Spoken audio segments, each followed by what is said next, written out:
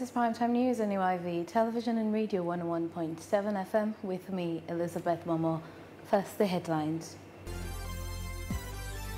Vice President Dr. Juldeh Jalloh says the second edition of the National Youth Employment and Entrepreneurship Fair is a direct response to creation of the 5,000 jobs. And this conference is no doubt a practical step to realizing that vision of creating 500,000 jobs. Some citizens expressed dissatisfaction over enactment of the Finance Act 2024. It's sad why are this guy talk here?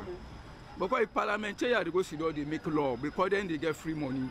Now made they go make that kind of law they did. Then now we even now we tax no day. People that they stray, people that they suffer. Director of Training and Strategy in Parliament, Mohamed Alpha Jalloh, calls for a strategic plan to address human trafficking in the country. Organized scheme for our members of parliament. You know, we have a lot of new members of parliament, but also there are old members of parliament who also need information on anti-human trafficking. Now for the full news.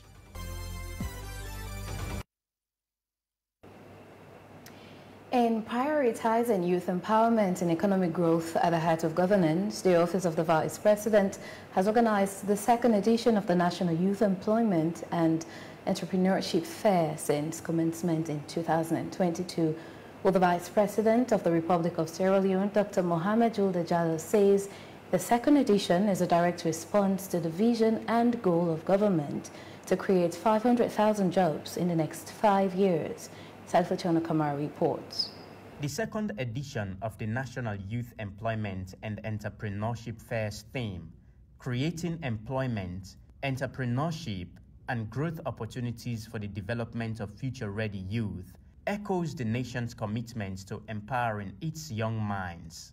Addressing the vital role of youth in shaping Sierra Leone's future, Vice President Dr. Mohamed Juldeh Jalloh says the fair is a commitment to empowering young people and creating the environments for them to thrive, build careers, and contribute to growth of the nation. Among the big five, job creation stands as the number two priority just after Feed Salone. And this conference is no doubt a practical step to realizing that vision of creating 500,000 jobs. This need is viewed as a building block for job creation. That is why this year we have included the Job Creation Conference as part of the four days event. And that will no doubt lead us to begin to put together the mechanics of a potential job creation strategy that will lay the ground path for how we intend to provide opportunities for young people to access jobs in the future. NIF is a direct response to His Excellency's vision to create jobs for young people. Esteemed international development and private sector partners and five ministries are standing shoulder to shoulder with the youth, offering pathways to success.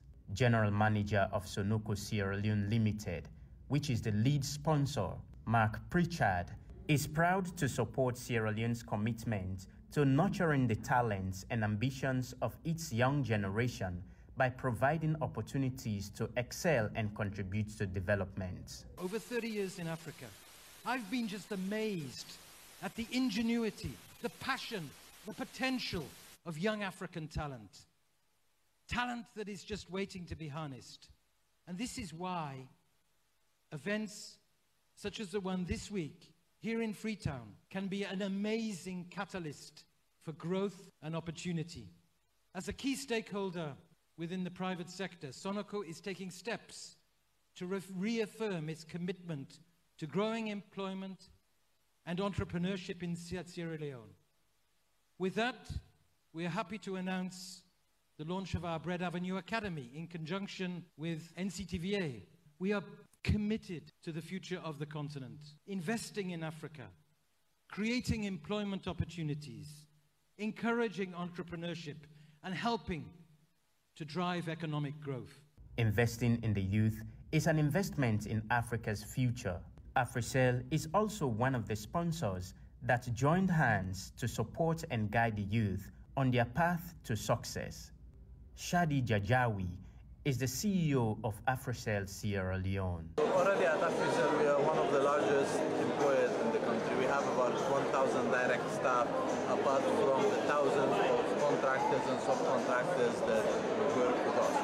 We have a need for employees the same way that employees have a need for employment. It's a two-way uh, relationship and we look forward to continuous engagement in such programs so that we will always have great staff to come and join AfriCell in the future. When you want something, you don't sit and wait for it. When you want something, you get up and you work hard for it. Everyone needs to work hard to wherever they want to go so that they leave where they are behind. The 2023 National Youth Employment and Entrepreneurship Fair is not just an event, it's a movement towards a brighter and prosperous future. The four days will focus on learning, skills development, networking, career advice, and connecting young job seekers to 50 employers. Salifuchar Nakamara, AYV News. Africa Young Voices Media Empire and the National Union of Sierra Leone Students News has organized an audition for the beauty queens that will represent their universities in this year's AYV and News Miss University. Now our entertainment reporter Hannah Yangsin put together this story. The search is on for the next AYV Miss University as 15 ladies auditioned from different universities across the country. The judges swear Nes Abdullahi, manager of Miss Sierra Leone Amina Sabangura, former Miss Tourism Aja Tigidanke, head of department at the Blucher School of Fashion, Matilda Equatorai, Miss University African Focal Person Ivy Bondo, and former Miss Sierra Leone 2018 Sarah Laura Solomon. They encourage the ladies who auditioned to be brave. There is so much more you can take from this. Your journey has started today. Go continue being yourselves. Go continue doing more learning, more research, more self awareness studies, build your confidence, and the world will be your what? Your what? Your stage. Speaking on the importance of AYV Miss University, and of entertainment at the AYV Media Empire, Olainka Olukolia has this to say. Today, we officially begin the search for the 2023-2024 Beauty with Brains that will represent Sierra Leone in the next Miss University Africa. As you today showcase your talents in front of the carefully selected judges, please remember that no matter the outcome of today's results, you're all winners and you're all considered queens. And we at AYV appreciate you for your participation. Miss University is an annual event organized by the African Young Voices Media Empire, and this year is no exception as AYV Media Empire is doing it together with the National Union of Leone Students, and it will be happening on the 1st of December 2023 at Radisson Blu Hotel in Freetown. Anna Yankson, AYV ENT News, Freetown. Now, following the enactment of Sierra Leone's Finance Act 2024, some citizens have expressed dissatisfaction, noting that it will add more burden to the hardship already faced by many in the country. They say government introducing additional taxes on essential commodities, most notably rice, is bad for the poor masses. Mariam Asani Kurma was there in our reports. The move to tax essential commodities, including rice, has been met with widespread disapproval from various sectors. Many citizens argue that taxing essential commodities like rice disappropriately affects low income households, threatening food security and placing an additional strain on already tight budgets. We don't hear about this Feed Salone. But how now we can hear about tax 2024 when we are not we are dying? We are dying. What about the parliamentary parliamentarians wey dem dey pay over almost billions of loans? Why una no dey reduce panel money and and and and slaughter in for let we able for sustain this country? For sir e actually very discouraging to me and sad. Why you this guy talk here? Because if parliamentarians dey go sit down dey make law. Because then they get free money. Na make dem dey go make that kind law dey dey then now wey even now wey tax no dey people dey dey stray people dey dey suffer na dem go sit down for go make law say because dem wan feed salon. Na dem dey go put law there. That mean to say by the time wey dem dey feed salon we all don die with starvation. Yes! So like uh, me so me no go catch sit down talk say i support this kind thing. We for be nationalistic. E no show say because of today you don get so the other people dem wey dey give you power you go suppress dem let dem die. we all wetin you call the rest small because me alcohol i like e go almost million i no wan know. The rest small they are they are sorry for we let you no get tax if you get tax e go pass so we go suffer we get for pikin dem dey now now now say all the rest dey so e more na for so we all able buy half bag rest.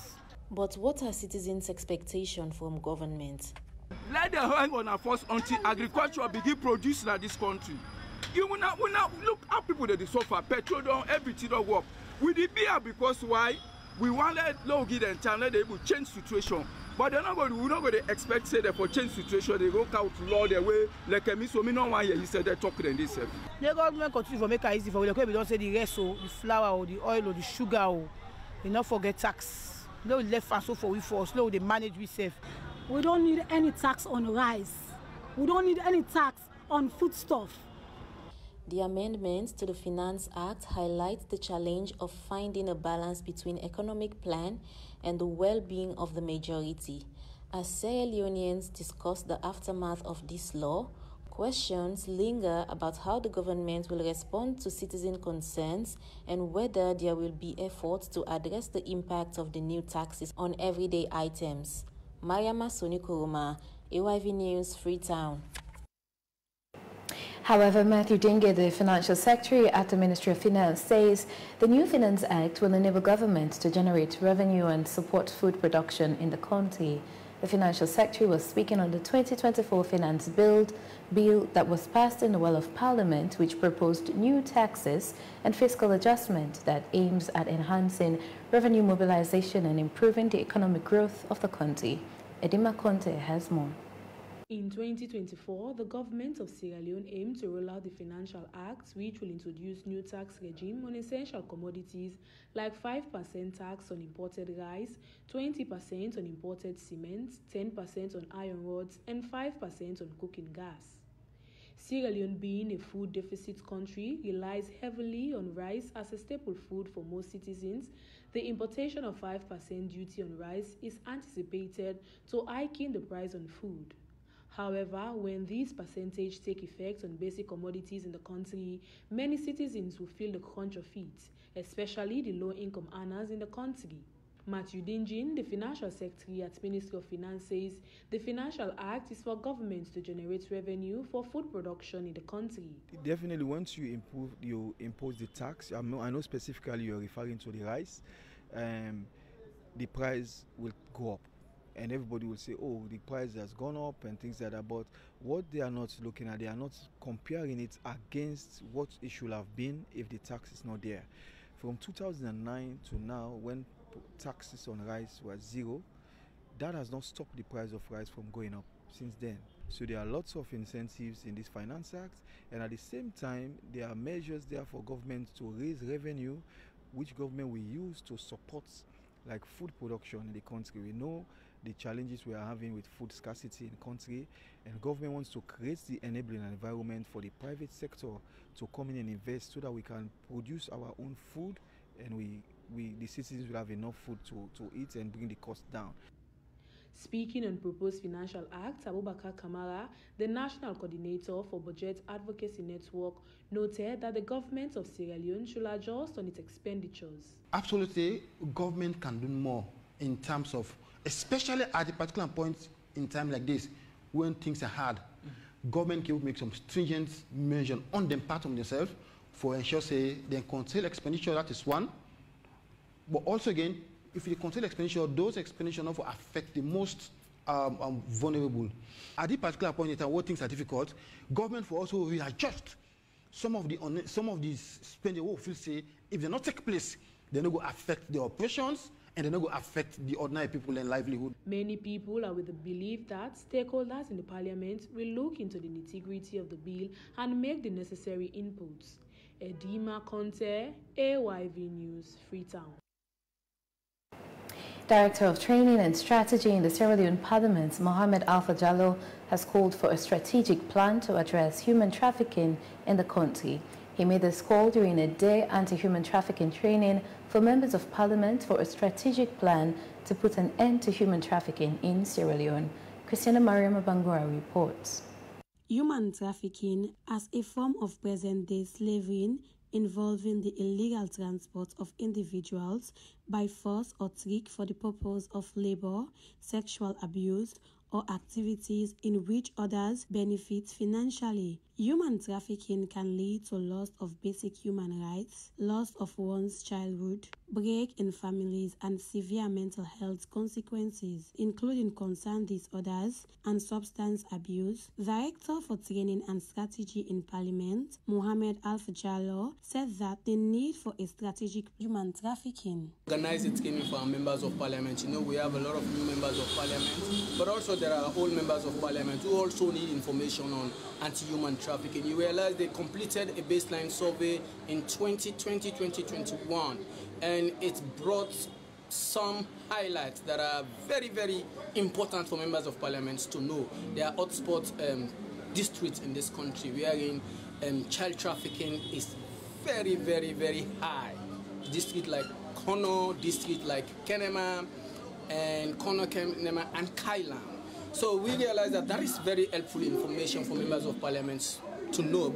Umar Fufana, County Coordinator, APRIS, explains the purpose of the trainings for members of parliament to enhance the capacity of MPs to integrate the lawmaking processes. So what we want to do is how could parliament integrate human trafficking in their daily work, for example, in their oversight programs, in their representation and lawmaking processes.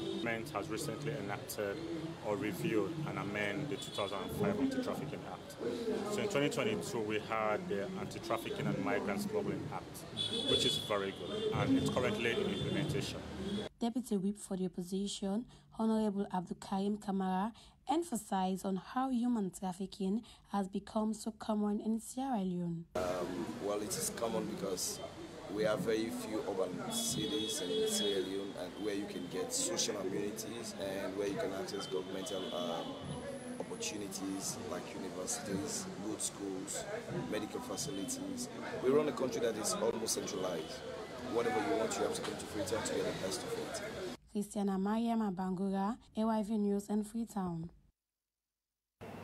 Joining the Global Action and Cybercrime Extended Action, the National Cyber Security Coordination Center in Sierra Leone has hosted a workshop on the role of policymakers in raising awareness on the Cybercrime Convention. Now, the workshop, which brought together key players in the security, justice and lawmaking sectors, seeks to provide insight into the Budapest Convention and its second additional protocol, identifying challenges in enforcing the Cybersecurity and Crime Act and offer sustainable recommendations. Renato Morove has more on the story. With the introduction of new technologies, the world is witnessing new criminal opportunities through computers, network, and other devices, dubbed as cybercrime the new global threat.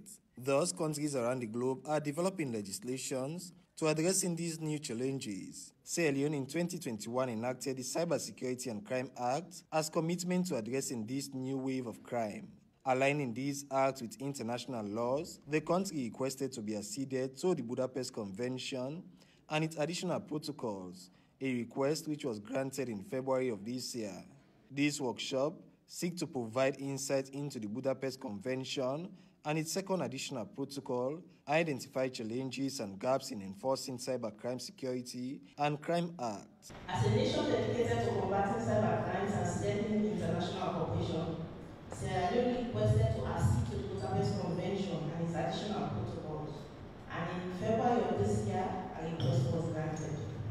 The being part of this treaty does not only promote international collaboration in the fight against cybercrime, it also enhances the capabilities of our enforcement agencies and facilitates the exchange of best practices. The good news is that cybersecurity and crime act of 2021 is already aligned with the Budapest Convention and But what's the current cybercrime landscape in the country and challenges of criminal justice system? as it is, we have challenges in the criminal justice system. Many challenges. We know that. From bail to evidence gathering to investigation by the police, we have lots of those. And to make it worse, we now have additional challenges that are brought about by cybercrime, which in itself has its own challenges and complexities, and together they have added or compounded the existing criminal justice system problems. The Budapest Convention remains to be the only legal binding international instrument on cybercrime that provides framework for harmonized definition in criminalizing cybercrime conduct as well as procedure measures for law enforcement authorities. Power to seize money, you have the power to confiscate money, but you didn't have this concept of freezing a bank account. This is very new, and for that you have to bring in new legislation. You have to make amendments in your law. Because when you're dealing with new types of crimes and new threats that are emerging, you need to give the law enforcement and the authorities new powers to deal with it. In the same vein, in the same way, when you deal with cybercrime electronic evidence, you have the same problem, and so you need to also have new procedural powers, by which you have in your law. Being part of this treaty does not only promote international collaboration in the fight against cybercrime, it also enhances capability of law enforcement agency and facilitates the exchange of best practices. This is part of steps by the country to being part of the international cooperation in the fight against cybercrime. Ronald Jomorovia, AYV News, Freetown. Speaker of ECOWAS Parliament, Honorable Sidie Mohamed Tunis, has arrived in Tangier, Kingdom of Morocco, for the 15th edition of the MEDays Forum. The forum will focus on the cross-cutting theme of polycrisis, polyword. Well, the speaker will participate in a panel discussion titled Separatism, Terrorism, Interference, and Political Instability in Africa, Getting Out of this Terrible and Fatalistic Nexus. The panel aims to address the complex and interconnected challenges Africa is currently facing. Let's take the highlight.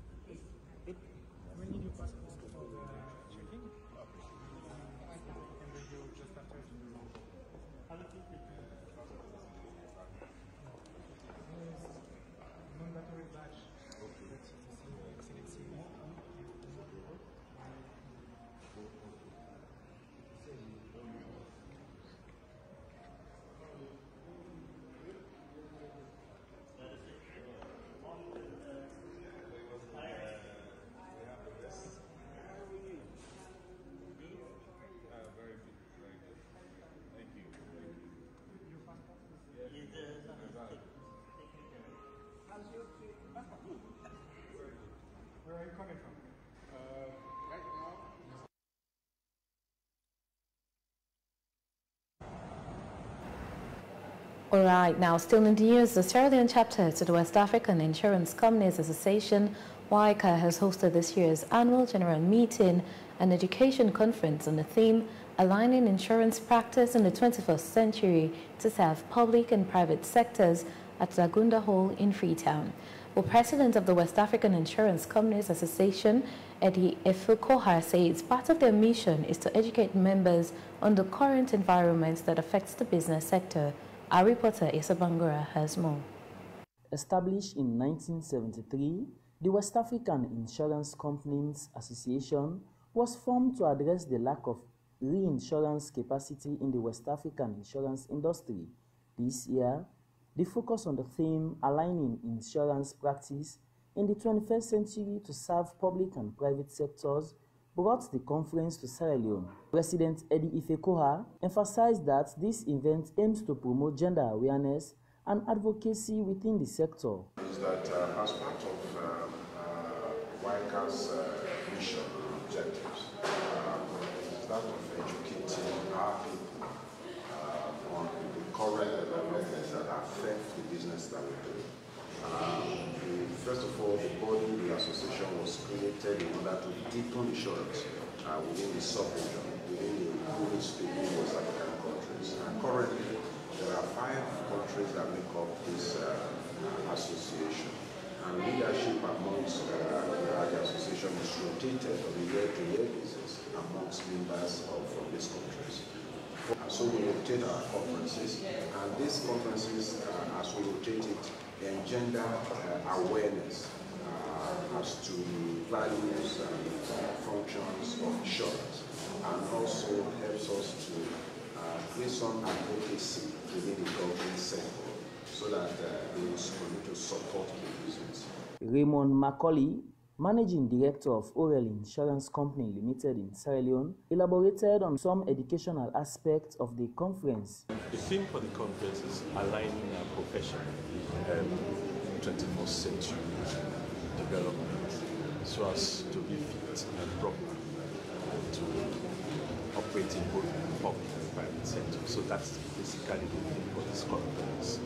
So we have, you know, lots, lots of speakers, presenters, discussants that will be uh, speaking on various areas uh, relating to governance, the new financial reporting standard that will be operational next year, the IFRS standard that will be operational next year, as well as a customer's perspective on insurance and how we can be um, proper to it. The commitment to provide reinsurance capacity using motivated personnel and advanced technologies to deliver exceptional client service while creating shareholder value underscores the conference significance. Issa Bangura, AYV News, Freetown.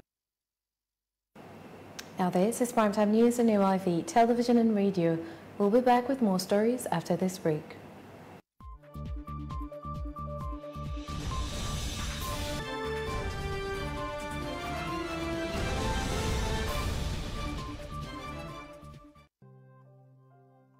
Welcome to Central University's Nursing Department where your journey to fulfilling nursing career begins. Our comprehensive program is designed to equip you with the skills and knowledge needed in the nursing field. Our experienced faculty is committed to providing you with the best education and training. We're proud of our partnership with Trent University in Canada, offering our students a global perspective. Canadian students will come to Sierra Leone, they will have a transformative experience, they'll see the beauty of the country, the potential of the country, and the incredible talent of, of the people here. And I hope that for Sierra Leonean students who come to Canada, that they'll see why Canada is different from the US. Um, Join us at Central University's Nursing Department and unlock your potential for greatness.